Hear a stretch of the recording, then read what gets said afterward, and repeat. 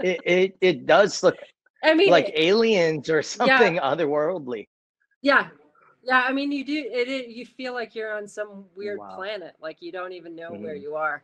But uh, this, uh, for those of you who don't know, because this is a this is a quite a famous location, but it's the it's in Palau and it's one of the freshwater um, lakes that are there, and they have these like, you know, there's I think there's some. I mean, I it, the the pot the number of jellyfish changes all the time, but it was like oh some million. There was like millions Not in there. not poisonous Um, or they don't sting you. Obviously, different. no, I mean they yeah, they're not poisonous. I mean they well the sting they do sting like a tiny Oh, bit. jeez. Um but but but it's not it's not bad at all. And it's totally Yeah, that's an incredible image right there, Jody. I mean, that how glowing they are, and that it's like, you know, as we look through these images, how she's utilizing, how you're utilizing of the light to like kind of convey and show those stories. That that makes all the difference. You know, I I've seen many images from I believe the same location in the way, but there's something different about the glowing and the almost looking up towards the rays and everything that really sets this image apart from the other ones. And you know, it goes with not only experience but seeing light in that different way. So it's beautiful.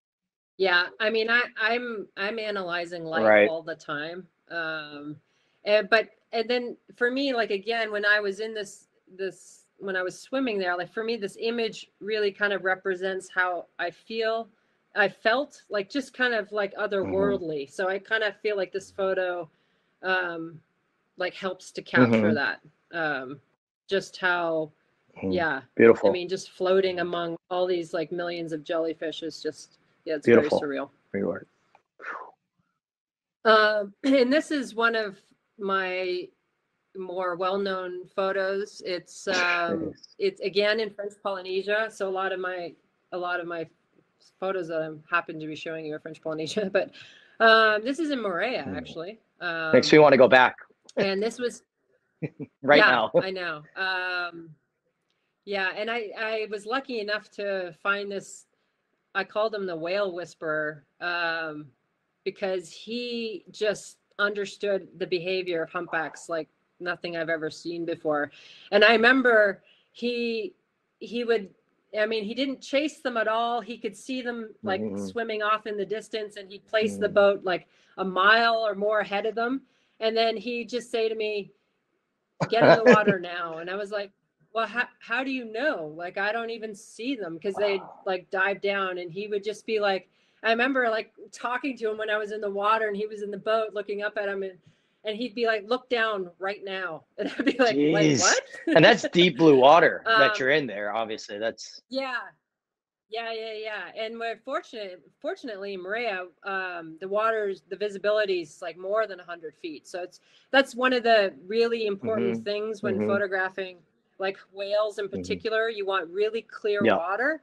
And the one thing I learned from sailing around the world is that's often very hard Right. to find, um, where you're getting like a hundred Yeah. plus feet of clarity. I mean, in, in like there's a, a couple key spots in the world, like Tonga is one of them where they Mm. have like super clear Right. water and people photograph them there a ton. And then this is another location. Um, I- Moorea just has like real spectacular water. Th- qual- That's high on my list. I definitely want to do the swimming with the whales, like in a Tonga or something like that. It's really high on my list. Hopefully, we can get there this year. But man, it's that water clarity at 100 is something very, very special. I mean, just in general, seeing that is very special. I Yeah. had crystal Marshall Islands. I'm not sure what you had, but like that was some of the clearest water I had seen uh, at the islands that we were at in the Marshalls. It was pretty amazing. Yeah. Yeah. There, I mean, no humpbacks really. No, but, no, um, no. Yeah. Incredible waves. Yeah, we got but- insane waves, but yeah. Yeah, no, this we did some really amazing wave kiting there Yeah. too, uh, Cool. and, and surfing there. So Cool. yeah, no, it's amazing. Nice. Um. Okay, so there. This is the next image. Oh, nope, it's not. Um. So right now, I'm just kind of showing like my progression okay. of how I was started taking a lot more, of course, underwater stuff, um, and learning how to do that while I was on the boat. And again, this is one of I think like my favorite images uh, of this uh, giant jellyfish that was in Burma. And I kind of I call this like this was like his little minions, right? Like all these little guys. Like he was his own Mhm. ecosystem. It was pretty amazing. But he's at least five feet across. Mm. It's a big Um, jellyfish. So he, I mean, he he was Yeah. huge. What what lens are you shooting with here? It looks like you have a little depth as we kind of like bleed off to the back, or unless that's just debris in the water. I Can't tell.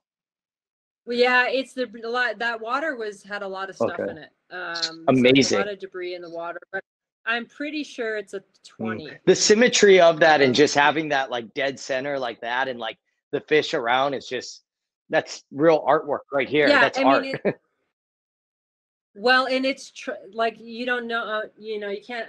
I can't even tell you how many tries I tried to get this Mhm. shot. Like you're, you're, Mhm. you're, you know, you're swimming backwards, and your Mhm. fins are getting in the way, Oh. and you know all this stuff. And then he turns, like Yeah, it turns, yeah. and I don't know if it's a he or she, but yeah, it turns. And you're trying to move. I mean, I, I think I took thousands to get this one. Like, you know what? That goes back to what my dad always is like shoot loose and edit tight because you have this moment right there while shooting it. And when you get back to editing, if you all of a sudden had everyone out of focus, you know, you're finning every photo, blocking it or anything like that, you can't go back to that moment. That that was a Right. moment in time, and that's where we strive and we like excel in that we want to be able to capture those moments to share. And that's why it's like shoot a ton of images right there, especially with digital. It's beautiful. Um, strong, good memory cards. Uh, it, it it helps. And to be able to create and Yeah. do these, that's how we we can take it and we can capture those and then you can find that perfect image as we see here that's just it symmetrically just gorgeous And I feel that way about weather. I mean, I in turn and what I mean by that is like there's so many Mm-hmm. times where I want to say to myself, "Oh, I mean, I can come back Right. tomorrow." And but I'm assuming that the weather's going to be the same. And then it could rain for 2 weeks Mhm. straight and I totally lost that Yeah. opportunity because I thought I could come Mhm. back. And so I've learned the hard way. It's like the it's good right now, it's light right now, Mhm. like stay Right. longer and just do it, you know, or put in more effort to do it today because you really don't know. It's usually totally different the next absolutely be in the Um, moment guys this is a, a great example and lesson of you got to be in the moment we got to enjoy this moment capture those imagery Yeah. And that's how we are able to do this so yeah absolutely thank you for sharing that image Um, and then again, going back to like these, the, you know, these crazy adventures where Mhm. you're just like, wow, I, I can't believe Mhm. like this is why I, this is why I was sailing around the Mhm. world to have experiences like this. So we had crossed from Madagascar, the Mozambique Channel to these outer islands in Mozambique, and we saw this 20 mile sand dune um, that you know on an uninhabited island, and we just thought, oh my God, we have to try to paraglide this, and we ended up. Um, eh, there, I don't that you can see the shore break, but it's actually very big shore break, um, and there was no other way to access the beach. Wow Um, so we had to wait for low tide, try to get the dinghy in with our gear, and then we had to swim the dinghy and anchor it back outside the holy break cow because we knew as the ti- the tide came up, it would just get bigger and bigger Wow. and bigger. So, um, and then we ended up, um, we, we flew here. It was just unbelievable. There was like five of us flying here for hours and hours and hours. And then we saw our dinghy on the beach. So the anchor chain broke. It went through Shit. the shore break up under the Oh, no. shore. And then we ended up, we couldn't get it started. The shore break was too big. So we had to also again wait till the next day what to um jeez yeah to try to to try to we didn't to try to get the dinghy off and we didn't even know if the engine would start because it went through the shore break right um so we didn't have any water or food we had to spend the night here but we we didn't have anything else to do so we just kept flying It's it's incredible. I mean, the light that you use in this image, I've seen this image many times before, I believe, uh, with Red Bull Illume um, and a few yes, other things. Exactly. And, and and just how that light's hitting, but also the shadows going along the sand dunes and everything.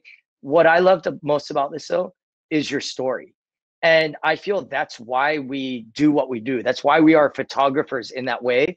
And it's to like capture those moments but I love when I look at one and it takes me back to that moment, the struggles, what you overcame to get this, because it's not always easy and you just showed up at the airport, flew first class and you did this thing. It's it's hours and hours accumulated with a vision for that moment that you yeah. see right here. And so to be able to share something like that is so important, like the stories to me. Like I love that. Well, I would say like it's never yeah. easy. I mean, yeah, when you think about what was in like entailed just to get yeah. here was like sailing across uh, a, a, mm-hmm. channel that we almost had humpback whale land on our bow through the night, like yeah. you know, sailing like what I don't know, four or five hours through the night, and you know, in, in, kind of bad weather, and then you know, getting here and then trying to get to shore. Mm-hmm. I mean, all I mean, all this stuff. It is, mm-hmm. it is. I mean, the amount of energy and what it what it takes. Um, is pretty crazy. But that that's kind of when you when you love what you do so much, um, you don't mind putting in the effort to do Absolutely. it. Absolutely. Um, and so so that's why I always tell people who are aspiring to be like photographers, I'm like, you really you really got to want this because you got to mm-hmm. you got to want to like push mm-hmm. through and do all the hard stuff mm-hmm. it takes to take a lot of these absolutely images. wow jeez and so this is a more, you know, close up angle of that dune you saw yeah. um, that was lit up on the So did he, he take off image. right where those footsteps are below, or is that from some other creature? No, that that's okay. from him. But what he did is he he landed and then took off again. So we would we would just like we call them touch and mm-hmm. goes. Um, so yeah, he just like landed and like walked around a little bit and then just took off. That again. color contrast is so beautifully perfect. You know what I mean? With that orange oh. to it and the blacks, like wow, like that is a special image. Yeah, it's it's mm-hmm. it's again very very mm-hmm. surreal. Like when you're looking at it, you just can't believe how mm-hmm. beautiful it is. Wow. Um, and this is a different time of day, but again, um, just kind of getting mm-hmm. that sense of place and how remote we are. Shadow and, is just crazy. You know, the the shadows on the oh. on the sand. Um, how untouched amazing. it looks too is such a beauty, and it's like you're almost like you know by paragliding over it. Is it paragliding? Is that what this is called? So it's paragliding. so paragliding over it. You're like preserving that. You're getting to enjoy that as opposed to like hiking up yeah. the mountain and like go. You know what I mean? And like shooting it on the thing, it's like Completely. we've not touched it and you can enjoy it like as it is.